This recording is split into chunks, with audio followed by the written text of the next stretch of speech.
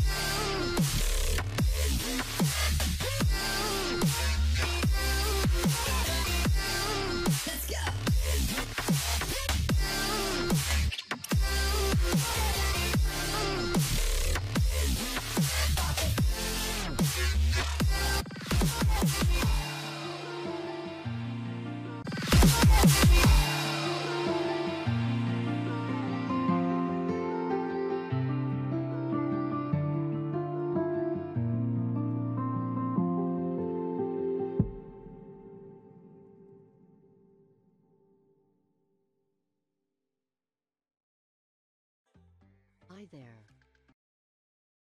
I want you to know that you can get the PSD file to this tutorial, and the original video. It's 1 hour and 25 minutes in duration, from the link below. You can also check out my store to get the pack of your favorite tutorial.